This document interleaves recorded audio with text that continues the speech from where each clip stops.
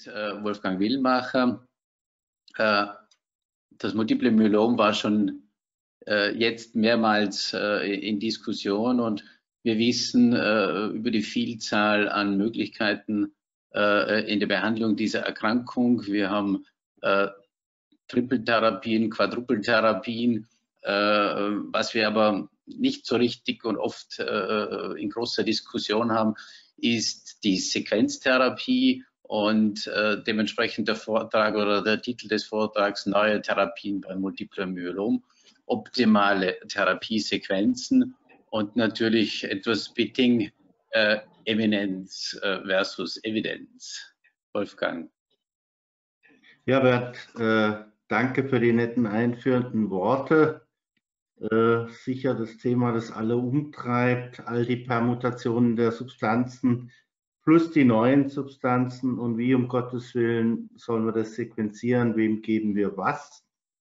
Äh, wir haben Gott sei Dank diverse Unterstützer für die Veranstaltung und die Aufgabe ist schwierig.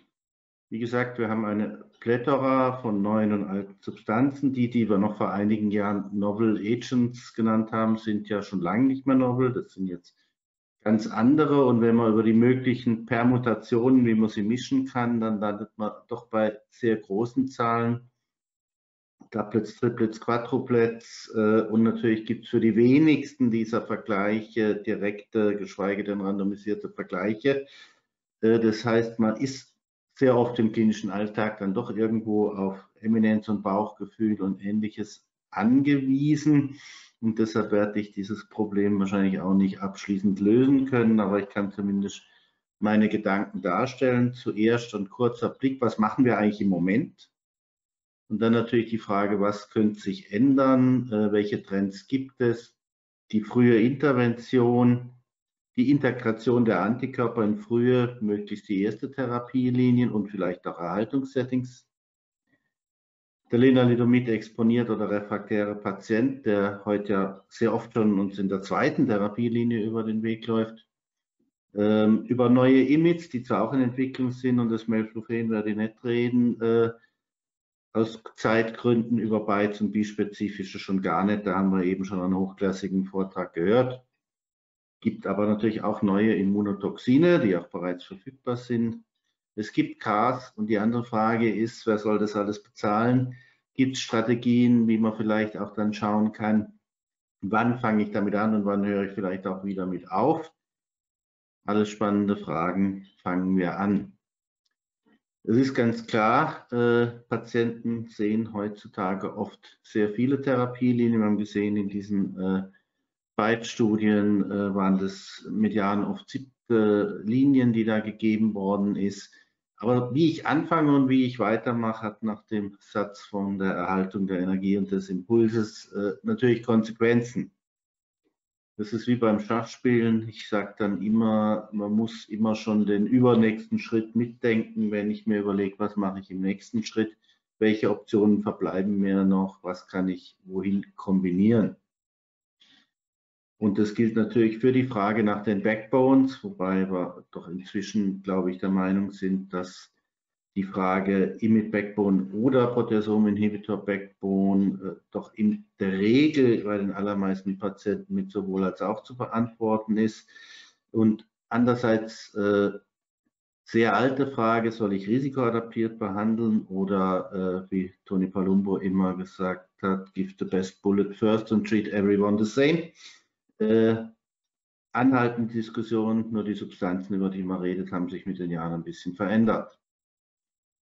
Ein kurzer Blick äh, zum Beispiel zum Thema Lenalidomid Exposure. Das ist eine kleine Analyse vom letzten EHA Gemeinschaftsproduktion äh, aus dem Register in Toulouse, aus dem österreichischen Register und äh, dem britischen von Gordon Cook wo wir die Daten halt mal reingeschmissen haben. Äh, leider hat die Firma Equia, die es zusammen mit uns gemacht hat, vom Kongress noch 200 Datensätze von Patienten von uns zerstört, sodass die endgültige Analyse noch in Arbeit ist. Ähm, Einschlusskriterien waren einfach Patienten, die zwischen 2012 und 2018 äh, behandelt wurden, Lenalidomid bekommen haben. Wir schauen dann in welchen Linien und dann äh, refraktär geworden sind. Äh, Definition bekanntermaßen Progress unter Therapie oder innerhalb von 60 Tagen nach Ende derselben. Wobei die Frage, ob denn da auch die Erhaltungstherapien mit den reduzierten Dosen dazugehören, äh, sehr strittig gewesen ist. Aus Konsensgründen hat man dann gesagt, nee, das betrachten wir nicht als refraktär. Persönlich würde ich das eher anders sehen, aber man muss sich ja auf irgendwas einigen.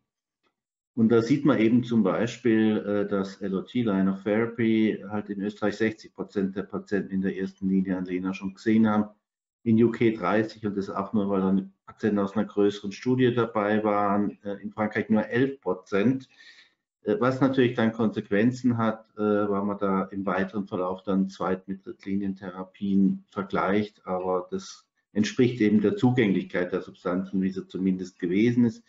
Wenn man dann schaut, was wurde nachher getan, ist es halt eine wilde Mischung aus allem, was vorstellbar ist und durchaus sehr unterschiedlich. Ähm, erneut an IMID, das ist jetzt dann eher selten gewesen, natürlich im Regelfall Potassiuminhibitor basierte weitere Therapien und Folgetherapien. Entsprechend sind die Ergebnisse unterschiedlich, muss man da immer sehen. Early Interventions, am besten ist es natürlich gar, gar kein Myelom erst zu bekommen ein theoretischer Ansatz ist der, wir wissen, dass das Rank-Rank-Ligand-System nicht nur in der Entwicklung der Myeloma Bone Disease von Osteolysen äh, ein zentraler Player ist, sondern möglicherweise auch im Aufwecken von schlafenden Myelomzellen in ihrer Nische eine Rolle spielt über die Osteoklastenaktivierung und äh, gibt sehr schöne In-vitro-Arbeiten äh, aus der Gruppe von Peter Croucher auch hochrangig äh, publiziert. Die Idee dann natürlich auch sehen den Fakt, dass in der Denosumab-Zulassungsstudie beim Myelom eben ein PFS von elf Monaten äh, gegenüber der Zolitronsäure unabhängig von der Myelomtherapie beobachtet werden konnte. Können wir mit Denosumab nicht vielleicht die Progression äh, verhindern oder zumindest hinausschieben? Laufende AGMT-Studie, inzwischen auch äh, beginnend ausgerollt in Deutschland, sprich Würzburg äh, und in Israel inzwischen auch. Denosumab gegen Placebo. Spannende Frage. Rekrutierung ist im Moment ein bisschen nachhängend. Also wer Hochrisiko äh, Smoldering Myeloma Patients hat nach der neuen Definition, wir haben das Protokoll da amentiert, also nach diesem 20-20-2-Schema, sprich 20 Prozent Plasmazellen äh, im Mark, M-Protein größer 2 Gramm und Light-Chain-Ratio größer 20, kleiner 100. Ähm, der soll jemanden kontaktieren in Innsbruck oder an einem der anderen Zentren. Mhm. Ja, Early Intervention, jetzt kommt das, was äh, San Miguel dann immer zeigt. Wie verhalten wir uns beim Mammakarzinom? Wir entdecken Vorläuferveränderungen sehr häufig und behandeln sie gleich. Wir warten nicht auf das Austreten von Metastasen. Äh, und das gilt eben auch für Präläsionen wie In-situ-Karzinome beim Myelom haben wir Vorläuferläsionen und machen nichts äh, und warten, bis der Patient eine fortgeschrittene Erkrankung entwickelt. Natürlich gibt es viele Gründe, die insbesondere im Engus-Szenario bei Hochrisikosmolderern ist das ja möglicherweise anders. Ähm, wir wissen natürlich, dass nur, nur, ein geringer Teil dieser Patienten prognostiziert wird. Trotzdem ist die Frage, können wir da nicht besser werden in der Prädiktion? Wen können wir früher behandeln? Natürlich auch auf dem Hintergrund, dass die Patienten dann weniger zum Teil äh, deletäre Läsionen, insbesondere P53 äh, oder Deletion 17 haben, wenig komplexere Genetik und vielleicht einer Therapie oder einer Eradikationstherapie zugänglicher sein könnten. Sprich, wie dieser kleine Schwarzspitzenhai, äh, den ich mal fotografiert habe, neben dem kann man problemlos schwimmen, der nimmt eher Reis aus, wenn er einen sieht. Mit dem Kollegen sollte man das wahrscheinlich besser nicht versuchen. Ein bisschen hat sich die herrschende Meinung ja schon in diese Richtung entwickelt im äh, Jahr 2014 mit den geänderten Kriterien, wann wir einen Patienten als aktives Myelom äh, bezeichnen sollten und auch behandeln sollten. Es gibt die klassischen PrEP-Kriterien, die natürlich Endorganschäden entsprechen, aber wir haben jetzt eben auch die Myeloma Defining Events, die dann die Slim-Prep-positiven oder Early Myelomas kennzeichnen. Klonale Plasmazellen über 60 Prozent. Die Ratio der Leichtketten über 100 bei einer gewissen Minimalmenge. und der Nachweis von Läsionen im MRI in einer hochklassigen Radiologie. Das ist nicht unumstritten, aber es ist auf jeden Fall, zumindest bei jüngeren Patienten, schon zu diskutieren. Und natürlich ist es andererseits schöner, jemanden zu behandeln, der nicht dialysepflichtig ist oder eine fortgeschrittene Skeletterkrankung hat. Es gibt Daten dazu. Das wissen wir, die Studie von Marie Matthäus, natürlich die äh, bekannteste, die doch auch im Langzeit-Follow-up äh, für die Interventionsgruppe einen Vorteil zeigt, trotz gewisser Probleme im Studiendesign. Aber es gibt eben inzwischen auch andere Studien aus den Stadien von Chagaloniel oder eben dieses GEM-CISA-Protokoll, was natürlich anders ist, weil hier kein Lendex oder eine andere unterschwellige äh, Intervention diskutiert wird, sondern das volle Programm mit Induktion und Transplantation. Äh, man muss aber natürlich sagen, zum jetzigen Zeitpunkt sehen diese Kurven, die sehen, die sind alle sehr weit oben, schon so aus, wie wenn hier vielleicht doch zukünftig bei den Patienten, die man so früh diagnostiziert. Das würde letztendlich dann natürlich auch Screening-Programme äh, nahelegen, doch sehr gut aus. Ähm, und das ist sicher noch zu früh im Moment, das in die tägliche Realität außerhalb von Studien umzusetzen, äh, aber der Trend könnte doch in diese Richtung gehen. Hat der Patient schon ein Myelom, dann muss er behandelt werden. Die größte Baustelle sind sicher die Hochrisikopatienten und am letzten Jahr hat die Katja Weisel die ersten Daten, das ist eine Voranalyse, keinesfalls schon die abgeschlossene Studie aus diesem Concept Trial gezeigt, also eine Studie, die explizit High-Risk-Patienten adressiert hat, was ich sehr gut finde, die gesondert anzugehen. Endpunkt MRD-Negativität Flow 10 hoch minus 5 nach der Konsolidierung. Patienten, die entweder Deletion 17 und oder 4, 14, 14, 16 oder die Hochcopy-Veränderungen an 1,21 gehabt haben und auf jeden Fall zusätzlich in ISS 2 oder 3. Ähm, ein Zyklus konnte vor Inklusion bereits gegeben werden, weil es oft natürlich Patienten mit einer entsprechenden Tumordynamik sind. Ansonsten die üblichen Kriterien. Was wurde gegeben? Isatuximab, Carfilzomib, äh, Revlimid und Dex sowohl Transplant- wie Non-Transplantarm. Sie sehen hier sechs Induktionszyklen im Transplantarm, dann natürlich die Mobilisierung Transplantation, äh, gegebenenfalls sogar Tandem, nochmal eine Konsolidierung mit vier weiteren Zügen und eine Erhaltung mit allen drei Substanzen ISA-KRD. Ähm, des Weiteren am Non-Transplantarm natürlich ohne die Transplant, aber dieselbe Zahl an Zyklen und auch die Haltung, äh, natürlich ohne D, habe ich vorhin gesagt, das stimmt natürlich. Äh, es ist ausrekrutiert, wir haben aber nur die ersten 153 Patienten gesehen. Sie sehen, das sind wirklich, es ist ein extremes Hochrisiko, äh, kollektiv definiert durch die Einsturzkriterien, über 50 Prozent Deletion 17p und oder für 14. Äh, in einer unselektierten Kohorte wären wir da ja eher bei 15 Prozent maximal. Und Sie sehen hier Response nach der Induktion schon wirklich äh, keine Therapieversager und eine sehr hohe Remissionsrate für dieses Kollektiv. Also durchaus sehr ermutigende erste Signale und am Ende des Tages, ja, äh, man muss natürlich auf Infektionen achten. Das wundert einen bei dieser intensiven Schema nicht. Das wissen wir auch von den äh, Carfilzomib-Antikörperkombinationen in anderen Settings. Andererseits natürlich äh, keine Neuropathie ohne die Erkrankungsvorbestehende, die es natürlich auch gibt, kein Death on Study. Das ist ein Konzept, was äh, in diesem oder vergleichbarer Konstruktion sicher weiterverfolgt gehört. Äh, und die Schlussfolgerungen sind natürlich, wir warten gespannt auf die Endauswertung. Selbstverständlich gibt es auch jetzt schon die Möglichkeit, Transplantationskandidaten einem ähnlichen Konzept zuzuführen in Österreich und Deutschland, nämlich die DSM-17-Studie, hier in dem Fall mit Elotuzumab äh, KRD, äh, auch hier fünf, sechs Zentren in Österreich, unter anderem Innsbruck, die rekrutieren. Ich muss mich auch nochmal bei Bernd Hartmann bedanken, der, der, uns die Patienten ja dann für den Transplantal zuweist. Das waren gar nicht so wenige. Die Studie läuft sehr gut von der Rekrutierung. Ähm, ich weiß gar nicht, das Studiediagramm, ah, rechts ist nochmal die MM3-Studie, aber das linke ist das Richtige. Äh, also hier bitte junge Patienten gezielt zuweisen. weil auch der Kontrollarm äh, mit KRD alleine natürlich in der Routine nicht so ohne weiteres verfügbar ist. Im Rezidiv natürlich, was sind, weil die wenigsten Patienten im Moment natürlich außerhalb einer Studie äh, im Erstlinien-Setting Carfilzomib und Antikörper sehen, auch wenn sich das vielleicht bald ändern wird. Äh, Im Moment ist es natürlich die wirksamste Kombination in der zweiten, manchmal auch äh, dritten Linie. Und wir haben zwei große Studien für beide Antikörper. Einmal natürlich das Candor-Trial, auch hier eins bis drei Vortherapien, die üblichen Klauseln.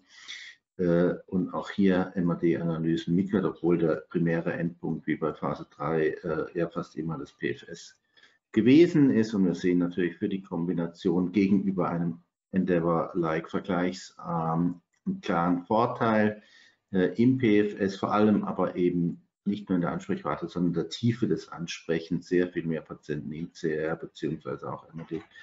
Negativ bei vertretbaren Toxizitäten, wie ich vorhin schon gesagt habe, die Infektionen sind das, worauf man sicher im Verhältnis am meisten achten muss. Äh, Thrombopenie, Anämie, das kennt man natürlich. Äh, aber insgesamt trotz allem feasible, die meisten Patienten haben es durchgestanden und es gilt vergleichend natürlich für die Kombination mit dem zweiten Anti-CD38 Antikörper ganz genauso. Auch hier der Vergleichsarm 18,7 mit 19,1 fünf Monate in der Endeavor-Studie KD 18,7, also sehr gut nachgebildet, realistischer Vergleich und im Moment sicher im Relapse eine der besten Dinge, die wir zur Verfügung haben. Natürlich ist Pomalidomid auch immer eine Option, weil in der ersten Linie ja sehr selten gegeben. Deshalb haben wir auch hier nochmal ins Register geschaut. Die Daten hat die Frau Wallner in der DGAO gerade präsentiert, retrospektiv 2010 bis 2020 knappe 80 Patienten. Das Vergleichskollektiv sozusagen die Zulassungsstudie von Pomalidomid MM03 damals PFS vier Monate, wobei man sagen muss, das war natürlich äh, vom Design eine Sechslinienstudie mit Jahren fünf Vortherapien und viele Optionen standen natürlich im weiteren Verlauf nicht zur Verfügung, die wir heute haben. Ähm, mehr als die Hälfte der Patienten war Pomdex, äh, Kombinationen seltener, wobei man sieht, dass in den Kohorten, die jetzt nachkommen, natürlich die äh, Kombinationen mit Antikörpern sehr stark zugenommen haben.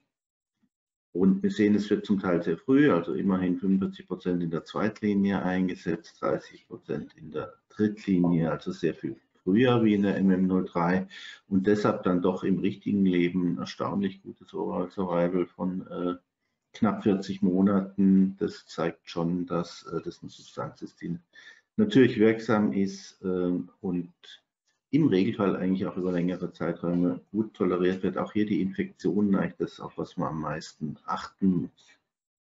Viel besser ist es natürlich in Kombinationen um Dex-Elo, äh, nach dem Kaffeesmith basierten Regime mit DARA unter Umständen dann ein guter nächster Schritt, weil wir da jetzt nichts Kreuzreaktives sozusagen haben. Äh, Daten von Thanos Dimopoulos äh, damals gezeigt und auch natürlich inzwischen lange publiziert und nicht mehr in Press. Ähm, man hat immer wieder den Eindruck, vor allem bei Patienten, die nicht ganz so dynamisch progredient sind, häufig sehr gut und auch lange wirksam. Äh, und man muss auch daran denken, das Ilotuzumab nützt uns nur was, solange ich noch ein Imid zur Verfügung habe. Äh, also wenn wir jetzt mal Thalidomid beiseite lassen, wenn ich in die nächste Imid-basierte Linie gehe, dann sollte ich es, wenn es geht, eigentlich dann dazu nehmen, weil alleine ist es sinnlos zu geben, die monotherapeutische Wirksamkeit ist gering. Wenn Patienten dann aber mal gegen CD38-Antikörper und damit einhergehend sehr häufig auch gegen andere Dinge refraktär oder zumindest exposed sind, dann werden die Ergebnisse sehr viel schlechter. Die kritischste Gruppe im Moment oder der Unmet Need dieser pentarefraktären Patienten, also die zwei IMIDs, zwei Proteasom-Inhibitoren und CD38-Antikörper gesehen haben und äh, bei denen auch jeweils nicht Wirksamkeit äh, vorliegt. Mit Exposed Refractory kann man im Einzelfall ja lange mal diskutieren, aber es ist ganz klar, das sind Patienten mit einem sehr bescheidenen mittleren Überleben, das eher unter einem Jahr liegt. Äh, und da brauchst ganz sicher neue Ideen. Wenn der Antikörper alleine nicht hilft, dann muss man den Antikörper eben äh, aufmotzen, wie man Pimpen vielleicht noch am besten übersetzen kann. Da gibt es verschiedene Optionen. Über einen Teil davon hat der Hermann Einzel schon sehr lange gesprochen. Warum BCMA ein gutes Target ist, wurde auch schon diskutiert. Man kann es eben angehen mit bispezifischen, mit CARS. Man kann es aber natürlich genauso auch mit Antibody-Drug-Konjugaten oder Immuntoxinen angehen. Und ich werde jetzt ein bisschen was zu Belantamab Mafodotin sagen, weil diese Substanz halt äh, bereits verfügbar ist über ein Early Access Programm und dann demnächst auch einfach äh, zu bestellen. Zulassungsstudie, die sogenannte TRIM-2-Studie. Der Handelsname ist jetzt übrigens BlenRep, wer auch immer sich das äh, ausgedacht hat, war eine zweiarmige Phase-2-Studie, wobei die Randomisation zwischen zwei verschiedenen Dosierungen gewesen ist. Äh, drei oder mehr Therapielinien im realen Patientenset waren es dann deutlich mehr. Ähm, und die eben Refraktarität auf Imits auf Proteasom-Inhibitoren und oder Intoleranz oder den CD38 äh, und den CD38 Antikörper, also eine durchaus problematische Gruppe plus die üblichen Klauseln. Die zwei Dosierungen haben jetzt nicht einen großen Unterschied gemacht, wie Sie hier sehen. Wenn Sie gesehen haben, wie vorhin das äh, mittlere Überleben in der triple-refraktären Kohorte war, dann ist es hier dann natürlich schon mal deutlich besser. Äh, und das bei jetzt nicht sehr hoher äh, kompletter Remissionsrate, aber doch einer guten Tumorkontrollrate. Und das äh, ist schon erstmal ein guter Ansatz und natürlich was, was auf der Shelf verfügbar ist. Toxizitäten, da gibt es nur ganz was Neues. Ich habe zum Konstrukt selbst gar nicht viel gesagt. Äh, das ist auch ein Vedotin, sprich das äh, Agens, das Toxin ist am Ende eben auch das berühmte äh, Monomethylastatin E. Es ist aber ein bisschen anders verlinkt. Das ist auch ein Mafodotin und kein Vedotin. Das hat man gemacht, weil man gedacht hat, wir kriegen damit vielleicht diese Neurotox weg, die uns beim Brentuximab doch bei Langzeittherapien immer wieder Ärger macht. Hat funktioniert. Die Neurotoxizität spielt tatsächlich keine große Rolle, aber dafür tritt bei dieser Substanz nicht ganz selten eine korneale Toxizität auf, neben der Thrombozytopenie, die den Hämatologen nicht so sehr erschreckt. Sehstörungen, Keratitis sicca, äh, korneale äh, Wucherungen, also die Patienten müssen augenärztlich kontrolliert werden, sie müssen sich ihre Augen feucht halten. Äh, Steroidtropfen haben sich eigentlich in der systematischen Untersuchung als nur begrenzt hilfreich erwiesen. Das Wichtigste ist, wenn das anfängt, äh, Therapien äh, zu prolongieren bzw. Dosisreduktion zu betreiben. Wenn man es rechtzeitig tut, wird es eigentlich schnell wieder besser. Wir haben jetzt auch zwei Patienten laufen, einen erst sehr kurz, aber der andere war immerhin auch in einem Acht-Linien-Setting und hat bisher gut angesprochen. Wie immer natürlich zielgerichtete Therapien in weiter nach vorne zu bringen oder auch in interessante andere Kombinationen zu bringen. Also Stream 9 wird eine Erstlinienstudie werden, plus, also VAD plus minus im Non-Transplant-Setting. Es gibt aber auch Studien wie Dream 5, die eine Menge interessanter neuer zusätzlicher Partner, also alternative Checkpoint-Inhibitoren bzw. Gamma-Sekretase-Inhibitoren, also Substanzen, die die BMCA-Expression ähm, hochhalten sollen, mit hinzuzunehmen. Äh, ganz neue Aspekte kommen da sicher dazu. Natürlich gibt es auch zelluläre Produkte, über die werde ich ganz kurz ein bisschen was sagen. Es gibt, wie wir vorhin in einer Tabelle schon mal gesehen haben, dann natürlich auch schon wieder X-Kandidaten. Ich habe mich jetzt mal auf das BB2121 fokussiert, weil das ein, das Konstrukt ist, was mit sehr hoher Wahrscheinlichkeit äh, zuerst zur Zulassung gelangen wird. Grundlage sind die Daten dieser Karma-Studie. Man hätte natürlich auch für, das, äh, für ein alternatives Gratitude zeigen können, aber wie gesagt, wir rechnen damit, dass das Eidesel ein bisschen früher verfügbar wird. Ganz klassischer Ansatz, mehr als drei Vortherapien, real waren es dann viel mehr. Ähm, und natürlich exposed auf Image-Proteasome-Inhibitoren Anti-CD38, exposed, nicht refractory, aber refraktär auf die letzte Therapielinie. Primärer End Punkt erstmal die Response und dann die üblichen sek äh, sekundären Austestungen verschiedener Dosen. Äh, Bridging äh, war erlaubt, es ist auch breit eingesetzt worden. Man hat allerdings, ich habe eine Analyse gesehen, dass die Patienten wenig von profitiert haben. Was durch die Einschlusskriterien, ja, wenn ich keine EMITs, keine Proteasom-Inhibitoren und kein CD38-Antikörper mehr habe, dann bleibt zum Bridgen jetzt auch nicht so furchtbar viel. Äh, auch wenn die Erkrankung so hochaktiv ist, das äh, große Tumormasse, gut, dann kann man noch über Chemotherapien nachdenken, die, wo ich dann aber wieder Toxizitätsprobleme natürlich bekommen kann. Äh, der Turnaround war in der Studie für die Produktion der Produkte auch deutlich besser wie in den Lymphomstudien, was aber sicher eher mit den Erfahrungswerten, die halt zusehends reinkommen, auch mit der Eröffnung von Produktionsstätten in Europa etc.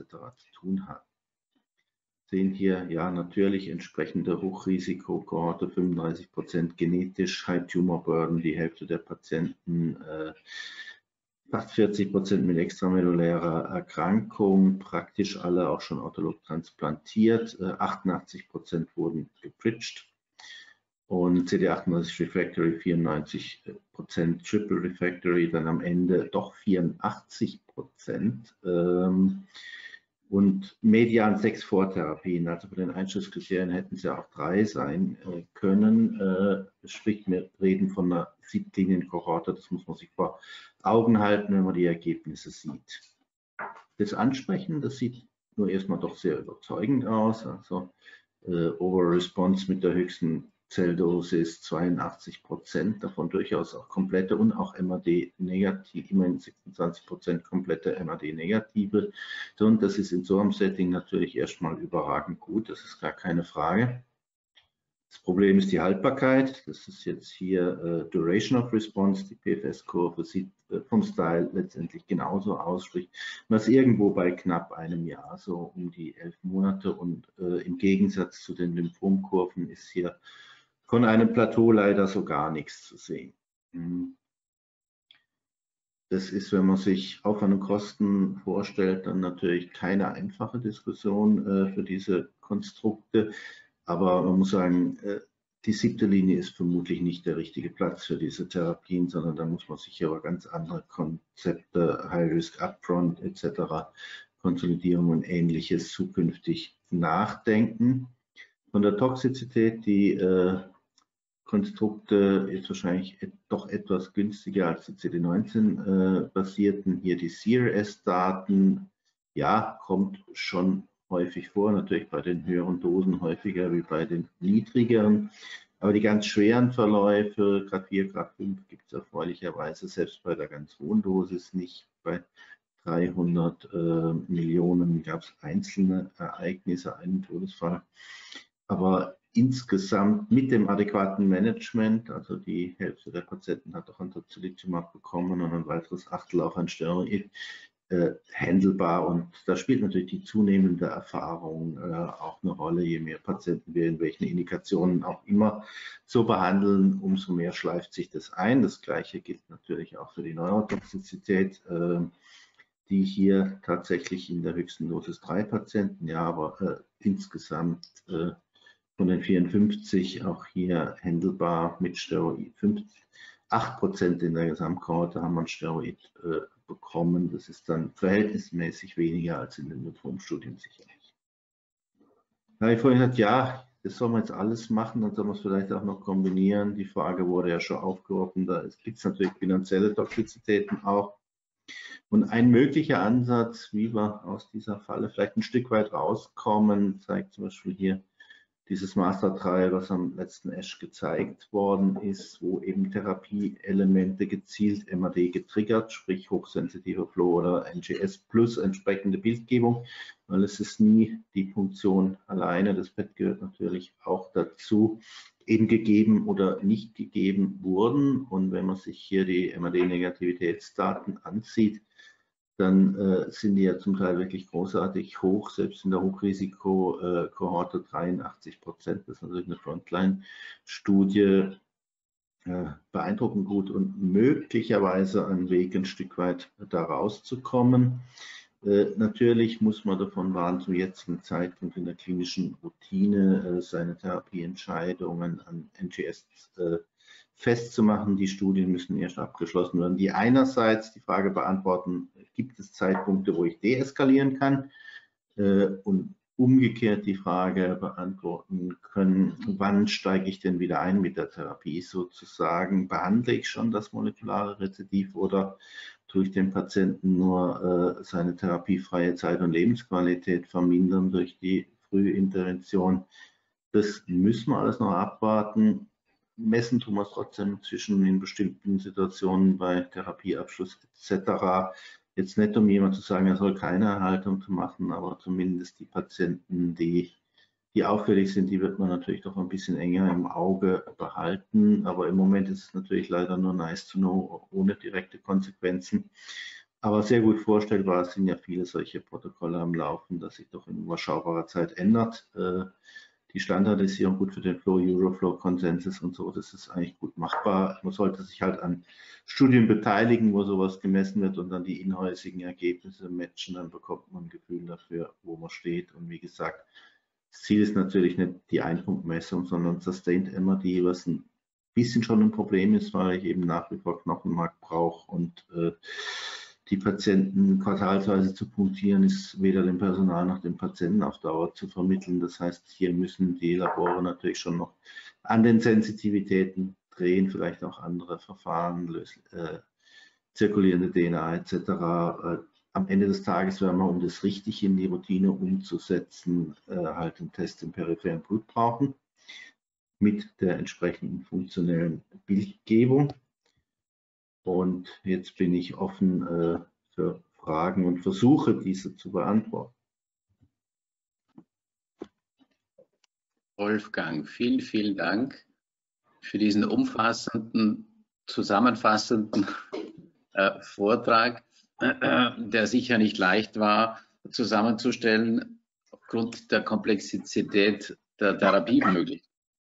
Meine erste Frage zieht sich ab, High-Risk-Patienten First-Line-Therapie. Wir haben unsere Studie, die DSM 17, logischerweise soll jeder darin behandelt werden, auch nicht Risikopatient. Äh, was, wie würdest du allerdings Patienten behandeln, die nicht in die Studie können, die eine klare Kontoindikation haben und trotzdem eine Deletion 414 beispielsweise aufweisen, äh, die wir meistens logischerweise erst nach dem ersten Zyklus sehen, weil die Zytogenetik ein bisschen länger braucht, als wir mit der Therapie beginnen. Würdest du so jemand auf äh, äh ein ISA-KD umstellen? So wie die Frau Professor äh, äh Weisel äh, ja, in, die in der Studie gezeigt hat? Ja, meine Daten sind natürlich sehr präliminär. Ja. Also wollen würden tue ich das schon, beziehungsweise außerhalb der Studie wird es natürlich auch mit dem K im Backbone schon ein bisschen schwierig, ähm, wobei ich mich da wahrscheinlich bemühen würde, das äh, zumindest zu bekommen. Äh, ich denke, die Frage bei diesen Patienten ist dann natürlich immer, äh, man muss den Verlauf anschauen, wie schnell gehen die hinunter mit ihren Gradienten, weil da haben wir ja jetzt leider gerade äh, den Patienten gesehen, den ihr uns geschickt habt, der, der, der erste Versager in der, in, der 17er Induktion war, den ich gesehen habe, wobei er natürlich am Kontrollarm war. Ähm, aber da ist er dann, denke ich, so im Posttransplant Bereich, wenn man denn da hinkommt, äh, das sind ja die Patienten, wo ich dann nicht genau hinschauen muss und über Tandem nachdenken würde und oder Konsolidierung äh, im weiteren Verlauf, weil das sind, äh, sag mal, Therapieelemente, die leichter verschreibbar sind. Äh, wobei ich schon der Meinung bin, dass da die Richtung klar Richtung Quadruplet geht. Ähm, und wahrscheinlich natürlich nicht nur für die HIS-Patienten. Äh, bei jeder Myelomtherapie, egal wie sie heißt, sehen wir immer, dass der Benefit für die Standardrisikopatienten ja eigentlich deutlich größer ist bei optimaler Behandlung. Ähm, aber umso wichtiger ist es natürlich, diese Kohorten in, in eigenen Studien mit innovativen Konzepten anzuschauen, weil das ist, das sind nach wie vor diese äh, Burkitt-Myelomas, sage ich dann bei manchen Patienten immer, es gibt halt indolente Myelomas und es gibt very aggressive Myelomas. Äh, da brauchst du dann sicher andere Ansätze und bei so einem Patienten, mit dem den jetzt schickt, ist natürlich auch äh, zu diesem Zeitpunkt würde ich dann doch immer frühzeitig auch die Spenderabklärung im Hinblick auf eine nicht zu spät im Verlauf der Gesamttherapie angesetzte Allotransplantation mit bedenken. Ja, die Patienten haben sicher den größten therapeutischen Need. Ja. Gibt es sonst Fragen von den Teilnehmern? Ich, Bitte, ich Professor Frage. Gerne. Gerne. Wolfgang, also ich war gestern in der Diskussion, äh, da tauchte eine sehr interessante Frage oder Überlegung auf, weil wir sind ja nach wie vor in der Situation, wir hoffen natürlich, KRD plus ELO, KRD plus DARA, KRD plus ISA wird die Ergebnisse beim Myelom nochmal deutlich verbessern. Aber es sieht ja nach wie vor so aus, dass wir eine sehr, sehr kleine Zahl von Patienten letztendlich mit Myelom nur werden heilen können. Und es gibt ja zwei Ansätze. Der eine Ansatz, den hast du ja sehr schön dargestellt, man geht wieder noch früher in die Therapie. Das heißt, man fängt schon das Smoldering Myeloma an zu behandeln. Und die zweite Möglichkeit, man intensiviert die Therapie nochmal. Und da wäre sicher die Strategie dann bispezifische Antikörper, KT-Zellen oder was du äh, auch äh, dargestellt hast, Antibody-Drug-Konjugate dann mit einsetzen. Und da kam jetzt ein Vorschlag von einer amerikanischen Kollegin, die gemeint hat, ja, also wenn wir heilen wollen, dann müssen wir sozusagen ganz früh und dann ganz massiv. Also äh, Smoldering Myeloma, Quadruple-Induktion, Transplantation und anschließend KT-Zellen. Was hältst du von so einer Strategie? Also gut, äh, theoretisch ist es natürlich sicher so, dass so eine Strategie äh, wahrscheinlich ein kuratives Potenzial hat. Das Grundproblem ist natürlich schon, dass das für, auch für einen Großteil dieser Kohorte natürlich ein massives Overtreatment darstellt. Und wir sind nicht gut genug im Moment zu prädiktieren, wer jetzt die, die sind, äh, für die das der richtige Ansatz ist. Da müsste man, glaube ich, diese Kohorte schon, schon wirklich auch, auch nochmal molekular stratifizieren, wirklich nach äh, Ultra-High-Risk-Parametern, äh, RAS und was einem da alles noch vielleicht einfällt, ist ja gar nicht MYC, auch nicht selten beim Myelom. Äh, und wirklich äh, einen entsprechenden Score-Animal ent entwickeln und dann sagen, okay, diesem Subset von Patienten bieten wir das an, Proof of Principle, ähm, weil für den, äh, sage jetzt mal, gemeinen Smolderer ähm, lande ich doch in einer Situation, wo ich äh, ein sehr toxisches und teures Gesamtkonzept auf eine Kohorte ziehe, von denen ich halt viele das vermutlich dann doch nicht brauchen. Hm was die Sache schwierig macht. Ja. Aber, aber trotzdem ist es natürlich so, wenn ich so früh einstecke, habe ich wahrscheinlich die höchsten Chancen, das zu erreichen. Aber ich kann auch nicht durch die, mit der Straßenbahn rumfahren und jedem eine Allotransplantation anbieten. so, so, hätte ich es auch etwas eingestuft. Ich denke, mit den vielen Stratifikationsmöglichkeiten, wir haben es ja von Clemens Schmidt vorher auch fürs, Myelo, äh, fürs Lymphom sehr schön gesehen, und beim Myelom sind wir ja auch zunehmend auf dem Weg, dass wir Subgruppen vom Myelom definieren können, die eher besser, eher schlechter verlaufen. Und ich denke auch, dass so eine intensive Strategie wahrscheinlich vor allem für die Hochrisikopatienten äh, etabliert werden sollte. Und ich gerade der, der äh, Patient, der jetzt von Herrn Hartmann vorgestellt worden ist, mit der Translokation 414 schlechtes Ansprechen auf KRD. Das wäre sicher ein Patient, wo man eben gerade intensive Therapien wie KT-Zellen oder eben auch eine allogene Stammzelltransplantation dann sicher frühzeitig evaluieren sollte. Ja, wir, wir hatten die Stammzellen des Patienten ja schon, der ist ja erst nach der Mobilisierung progrediert. Das heißt, da ist jetzt erstmal da, kriegt seine Autologe, weil das halt sehr kurzfristig machbar war, die Spendersuche läuft und dann muss man halt schauen, wo wir nach der Autologen landen in lieber den konsolidieren oder, oder weiterfahren. Aber das ist ja wirklich ein ganz junger Patient, der ist ja keine 50 Jahre alt. Äh, muss man sicher über so ein Konzept nachdenken, ist keine Frage. Jakob, bitte.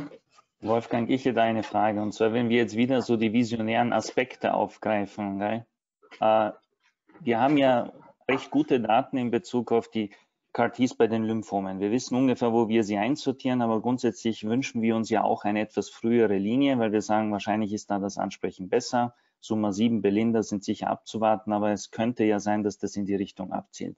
Beim Myelom ist das bei weitem ja nicht so gut abgesteckt. Du hast selber sehr schön gezeigt und auch der Professor Einzel hat das angedeutet, dass das Ganze ja recht spät sozusagen ja. eingesetzt wird bei pentarefraktären Patienten. Das ist an sich nicht wirklich sehr sinnvoll, ja. oder? Das hast du auch schon mehrfach siebte Linie, das, das genau. kann nicht das Kollektiv sein. Richtig.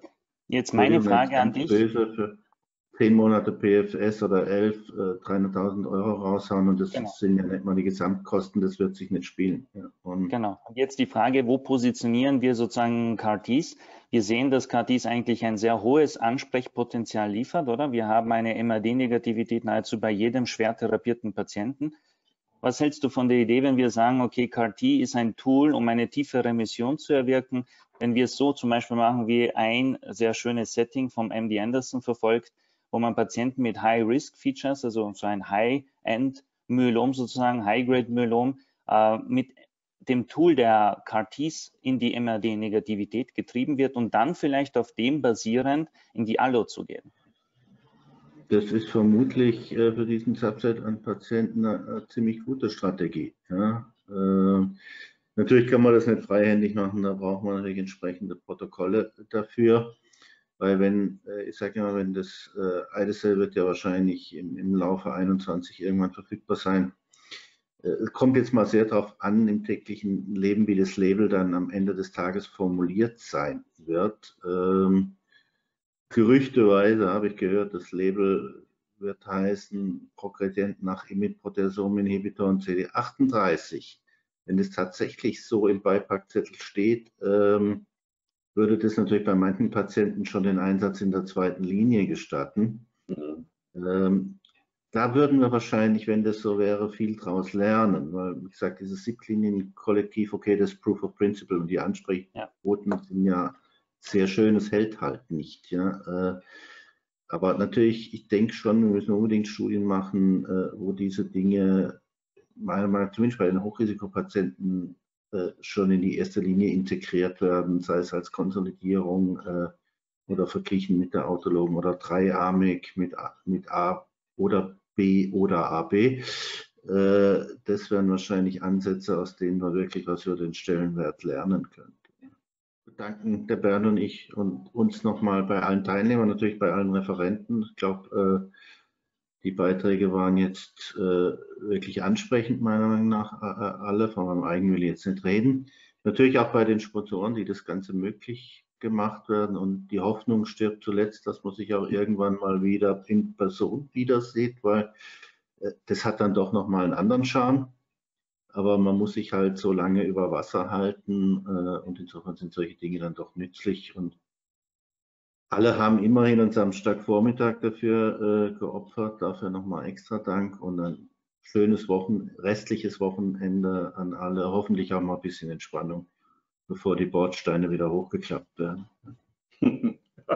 Wiederschauen. Herzlichen Dank. Danke. Danke. Danke. Danke. Tschüss.